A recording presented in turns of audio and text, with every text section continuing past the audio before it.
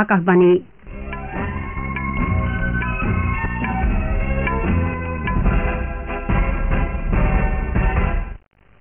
বাতৰি পঢ়িছো মৰমী কাশ্যপে। বিজেপিৰ জ্যেষ্ঠ নেতা তথা প্ৰধানমন্ত্ৰী নৰেন্দ্ৰ মোদীয়ে আজি কেৰালাৰ আলাথুৰ সংৰক্ষিত সংসদীয় সমষ্টিত এখন জনসভাত ভাগ লয়। কেন্দ্ৰীয় মন্ত্ৰী তথা বিজেপি নেতা অমিত শ্বাহে আজি ইম্ফলত দলৰ প্ৰাৰ্থীৰ হৈ নিৰ্বাচনী প্ৰচাৰ চলাব। জলবায়ু পৰিৱৰ্তনৰ প্ৰত্যাহান আৰু ঋণগ্ৰস্ত দেশসমূহলৈ সাহায্য প্ৰদান এই দুই বিষয় লৈ আন্তঃৰাষ্ট্ৰীয় মুদ্ৰা নীতি আৰু বিশ্ব বেংকৰ যুটীয়া সভাখন অহা বুধবাৰে ৱাশ্বিংটনত অনুষ্ঠিত হ'ব। জম্মু কাশ্মীৰৰ দক্ষিণ কাশ্মীৰ হিমালয় ক্ষেত্ৰৰ শ্ৰী অমৰনাথজীৰ বাৰ্ষিক যাত্ৰা অহা ঊনত্ৰিশ জুনৰ পৰা আৰম্ভ হ'ব আৰু আই পি এল ক্ৰিকেট প্ৰতিযোগিতাত আজি চেন্নাইত হ'বলগীয়া খেলত ৰয়েল চেলেঞ্জাৰ্ছ বেংগালুৰু ছানৰাইজাৰ্ছ হায়দৰাবাদৰ বিৰুদ্ধে অৱতীৰ্ণ হ'ব।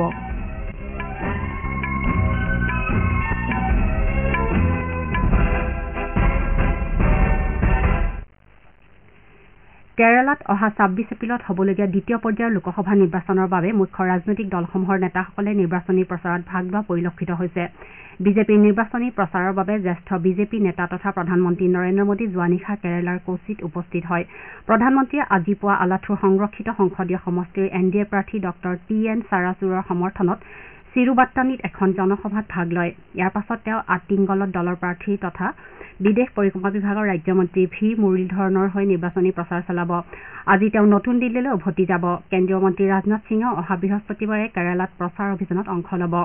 ইফালে কংগ্ৰেছ নেতা তথা ৱায়নাড লোকসভা সমষ্টিৰ প্ৰাৰ্থী ৰাহুল গান্ধীয়ে আজি আৰু কাইলৈ কেৰালাত প্ৰচাৰ অভিযান চলাব। কংগ্ৰেছৰ সভাপতি মল্লিকাৰ্জুন খাৰ্গে আৰু সাধাৰণ সচিব প্ৰিয়ংকা গান্ধীয়ে ক্ৰমে বিছ আৰু বাইছ এপ্ৰিলত ৰাজ্যখনত নিৰ্বাচনী প্ৰচাৰত অংশ ল'ব। চি পি আই এমৰ সাধাৰণ সচিব সীতাৰাম য়েচুৰীয়ে আজি কাছাৰগড় আৰু কন্নুৰ সমষ্টিত প্ৰচাৰ অভিযানত অংশগ্ৰহণ কৰিব। বিজেপিৰ জ্যেষ্ঠ নেতা তথা কেন্দ্ৰীয় মন্ত্ৰী অমিত শ্বাহে আজি ইম্ফলত দলৰ প্ৰাৰ্থীৰ হৈ নিৰ্বাচনী প্ৰচাৰ চলাব। শ্ৰীশ্বাহে এদিনীয়া মণিপুৰ ভ্ৰমণসূচী লৈ আজি বিয়লি ত্ৰিপুৰাৰ পৰা ইম্ফলত উপস্থিত হ'ব। তেওঁ মণিপুৰৰ মুখ্যমন্ত্ৰী এন বীৰেন সিং বিজেপিৰ মণিপুৰৰ ৰাজ্যিক সভাপতি আৰু আন আন নেতাসহ ইম্ফলত এখন জনসভাত অংশগ্ৰহণ কৰিব।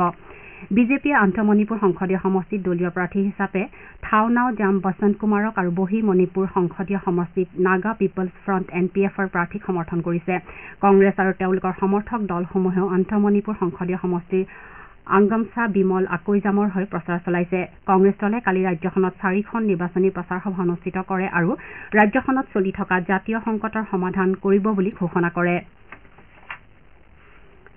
প্ৰথম পৰ্যায়ৰ লোকসভা নিৰ্বাচনৰ দিন চমু চাপি অহাৰ লগে লগে অসমতো বিভিন্ন ৰাজনৈতিক দলসমূহৰ প্ৰচাৰ অভিযান তুংগত উঠিছে। দলসমূহে শীৰ্ষ নেতৃত্ব আৰু তাৰকা প্ৰচাৰকৰ উপস্থিতিত সমষ্টিসমূহৰ ঠায়ে ঠায়ে জনসমাৱেশ মটৰ চাইকেল সমদল ৰোড শ্ব' আদি অনুষ্ঠিত কৰিও প্ৰচাৰ চলাইছে। তদুপৰি বিভিন্ন অঞ্চললৈ গৈ ভোটদাতা ৰাইজৰ সৈতে মত বিনিময় কৰি প্ৰাৰ্থীসকলে তেওঁলোকৰ মন জয় কৰাৰ চেষ্টা চলাইছে।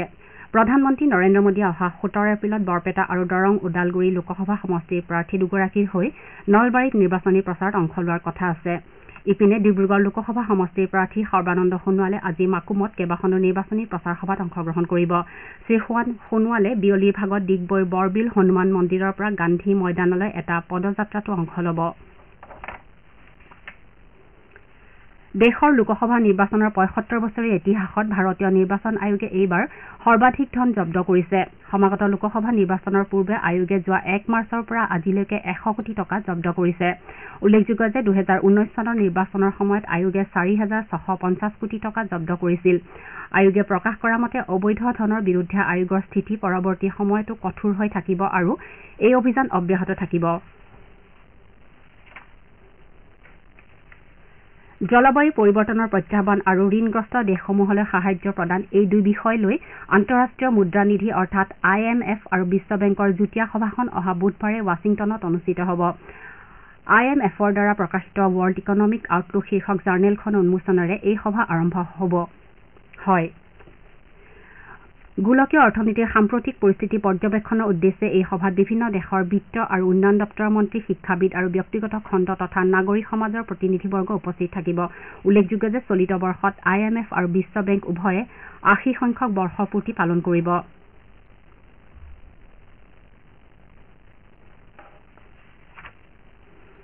উপ ৰাষ্ট্ৰপতি জগদীপ ধনখৰ আজি নাগপুৰৰ নেশ্যনেল একাডেমী অব টেক্সেছত অনুষ্ঠিত হ'বলগীয়া ভাৰতীয় ৰাজহ সেৱা চমুকৈ আই আৰ এছৰ ছয়সত্তৰ সংখ্যক বেটছৰ সামৰণি অনুষ্ঠানত উপস্থিত থাকিব। এই অনুষ্ঠানত আই আৰ এছৰ এই বেটছটোত ছাপন্নগৰাকী ভাৰতীয় ৰাজহ সেৱা বিষয়া আৰু দুগৰাকী ৰয়েল ভূটান সেৱাৰ বিষয়া আছে।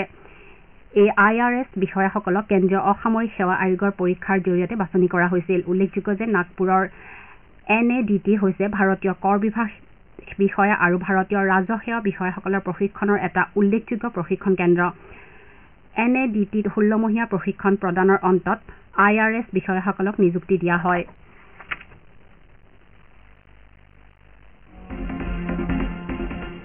আপোনাৰ ভোট আপোনাৰ কণ্ঠ। ভোটৰ শক্তিৰে নিৰ্মাণ কৰক সুস্থ গণতন্ত্ৰ।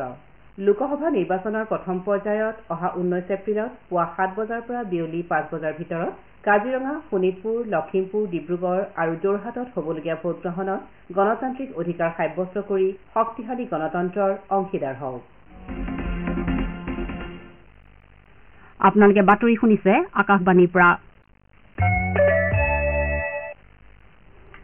জম্মু কাশ্মীৰৰ দক্ষিণ কাশ্মীৰ হিমালয় ক্ষেত্ৰৰ শ্ৰী অমৰনাথজীৰ বাৰ্ষিক যাত্ৰা অহা ঊনত্ৰিশ জুনৰ পৰা আৰম্ভ হৈ ঊনৈশ আগষ্টত সামৰণি পৰিব।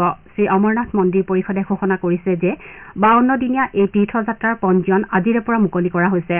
বাৰ্ষিক অমৰনাথ যাত্ৰা দুটা পথেৰে কৰিব পাৰিব। এই পথ দুটা হ'ল অনন্তনাগ জিলাৰ পৰম্পৰাগত আঠচল্লিছ কিলোমিটাৰ দৈৰ্ঘ্যৰ নুনৱান পেহেলগাম পথ আৰু গাণ্ডেৰবাল জিলাৰ চৈধ্য কিলোমিটাৰ দৈৰ্ঘ্যৰ বালতাল পথ। হিমবাহ আৰু বৰফেৰে আগুৰি থকা অনন্তনাগ জিলাৰ লিড্ডাৰ উপত্যকাত অৱস্থিত আৰু বছৰজুৰি বৰফেৰে আবৃত্ত হৈ থকা অমৰনাথ গুহালৈ এয়া হৈছে হিন্দু তীৰ্থযাত্ৰীসকলৰ বাৰ্ষিক তীৰ্থযাত্ৰা। অমৰনাথ যাত্ৰা ভক্তসকলৰ বাবে অন্যতম কঠিন আৰু প্ৰত্যাহ্বানমূলক যাত্ৰা। এই তীৰ্থস্থান ভগৱান শিৱৰ বাসস্থান বুলি বিশ্বাস কৰা হয়। প্ৰতি বছৰে হাজাৰ হাজাৰ ভক্তই ভগৱান শিৱৰ আশীৰ্বাদ ল'বলৈ অমৰনাথ গুহালৈ যায়।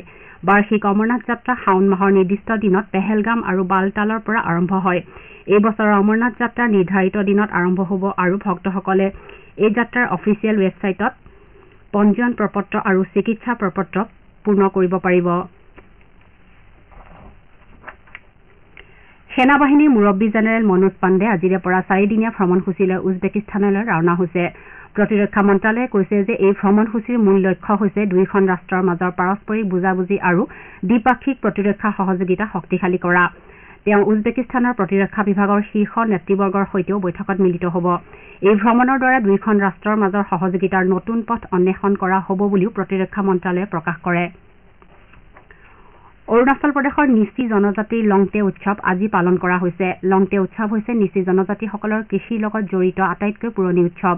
এই উৎসৱে নতুন ঋতুৰ আগমনৰ সংকেত দিয়ে যাৰ পাছতেই খেতিপথাৰসমূহত গুটি সিঁচা কাৰ্য আৰম্ভ হয়। প্ৰাচীন কালৰে পৰা চলি অহা এই উৎসৱে মানৱ সমাজক অশুভ শক্তিৰ পৰা ৰক্ষা কৰাৰ বিষয়ে স্মৰণ কৰোৱায়। অৰুণাচল প্ৰদেশৰ ৰাজ্যপাল অৱসৰপ্ৰাপ্ত লেফটেনেণ্ট জেনেৰেল কে টি পাটনায়কে এই উৎসৱ উপলক্ষে ৰাজ্যখনৰ জনসাধাৰণলৈ শুভেচ্ছা জ্ঞাপন কৰিছে। ৰাজ্যপালগৰাকীয়ে কয় যে লংটে উৎসৱে জনসাধাৰণৰ সুস্বাস্থ্য আৰু অনাগত দিনসমূহত জীৱ জন্তু তথা পশুধনসমূহৰ উৰ্বৰতা কামনা কৰে। মানৱ জাতিৰ শান্তি সমৃদ্ধি আৰু প্ৰগতিৰ বাবে এই উৎসৱ পালন কৰা হয় বুলিও তেওঁ কয়। আই পি এল ক্ৰিকেট প্ৰতিযোগিতাত আজি চেন্নাইৰ এম চিন্নস্বামী ষ্টেডিয়ামত হ'বলগীয়া খেলত ৰয়েল চেলেঞ্জাৰ্ছ বেংগালুৰু ছানৰাইজাৰ্ছ হায়দৰাবাদৰ বিৰুদ্ধে অৱতীৰ্ণ হ'ব। খেলখন সন্ধিয়া চাৰে সাত বজাত অনুষ্ঠিত হ'ব। ইফালে কলকাতাৰ ইডেন গাৰ্ডেন্ছত অনুষ্ঠিত এখন খেলত কালি কলকাতা নাইট ৰাইডাৰ্ছে লক্ষ্ণৌ ছুপাৰ জায়েণ্টছক আঠ উইকেটত পৰাস্ত কৰে। লক্ষ্ণৌ ছুপাৰ জায়েণ্টছে প্ৰথমে বেট ধৰি নিৰ্ধাৰিত বিছ অভাৰত সাত উইকেটৰ বিনিময়ত এশ একষষ্ঠি ৰান সংগ্ৰহ কৰে। দলটোৰ হৈ নিকোলাছ পুৰাণে পঞ্চল্লিছ ৰান কৰাৰ লগতে কে এল ৰাহুলে ঊনচল্লিছ ৰান কৰে। প্ৰত্যুত্তৰত কলকাতা নাইট ৰাইডাৰ্ছে পোন্ধৰ অভাৰ চাৰিটা বলতে বিজয় লক্ষ্যত উপনীত হয়। ইপিনে মুম্বাইৰ ৱাংখেৰ ষ্টেডিয়ামত অনুষ্ঠিত প্ৰতিযোগিতাৰ দ্বিতীয়খন খেলত চেন্নাই ছুপাৰ কিংছে মুম্বাই ইণ্ডিয়ানছক বিছ ৰানত পৰাজিত কৰে।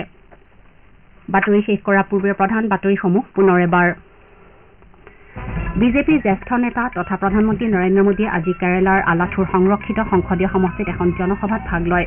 কেন্দ্ৰীয় মন্ত্ৰী তথা বিজেপিৰ নেতা অমিত শ্বাহে আজি ইম্ফলত দলৰ প্ৰাৰ্থীৰ হৈ নিৰ্বাচনী প্ৰচাৰ চলাব। জলবায়ু পৰিৱৰ্তনৰ প্ৰত্যাহ্বান আৰু ঋণগ্ৰস্ত দেশসমূহলৈ সাহায্য প্ৰদান এই দুই বিষয় লৈ আন্তঃৰাষ্ট্ৰীয় মুদ্ৰা নিধি আৰু বিশ্ব বেংকৰ যুটীয়া সভাখন অহা বুধবাৰে ৱাশ্বিংটনত অনুষ্ঠিত হ'ব।